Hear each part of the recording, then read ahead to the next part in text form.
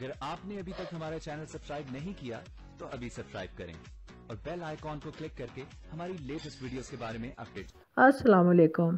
امان اینا سے شادی کرنے کے بعد یہ سمجھتا ہے کہ اب اسے ان لوگوں کی ضرورت نہیں ہے جن کو سی ڈی بنا کر وہ اینا یا میر فاروق تک پہنچا تھا۔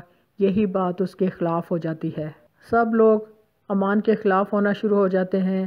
اینا کو بھی اس کے اوپر شک ہونے لگ جاتا ہے اور غوری صاحب کو بھی چنانچہ غوری صاحب میر فاروق کے پاس پہنچ کر اسے بتا دیتے ہیں کہ امان نے انہیں صرف سی ڈی کے طور پر استعمال کیا تھا اینا تک پہنچنے کے لیے، کیونکہ وہ اینا سے شادی کرنا چاہتا تھا۔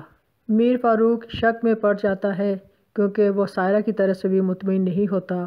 اس کو باہر بھیجنے کے بعد اس کے پورے گھر کی تلاشی لیتا ہے تو اسے فون اور وہ سم بھی مل جاتی ہے، جس کے ذریعے وہ دوسروں سے کانٹیکٹ کیا کرتی تھی۔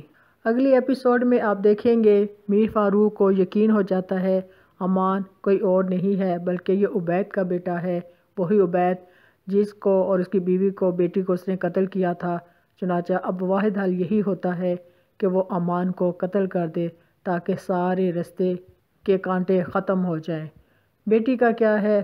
کچھ عرصہ امان کا غم مناتی، بعد میں اسے بھول جاتی، اس کی کہیں اور شادی ہو جاتی، لیکن وہ کبھی بھی یہ نہیں چاہتا تھا۔ کسی بھی طریقے سے اس کی بیٹی کا اس کے اوپر سے بھروسہ ٹوٹے۔ امان لاکھ ہوشیار ہونے کے باوجود میر فاروق کے سامنے ابھی بچہ ہی ہوتا ہے، اس لیے بڑے آرام سے اس کے جال میں پھنس جائے گا۔ اب دیکھنا صرف یہ ہے کہ اینا آخر کس کا ساتھ دے گی، شوہر کا یا باپ کا؟ لیکن لگتا یہی ہے کہ باپ کے کالے کرتوت جاننے کے بعد وہ اپنے شوہر کا ساتھ ہی دے گی۔ ہماری ویڈیو کو لائک کریں، شیئر کریں اور سبسکرائب بھی۔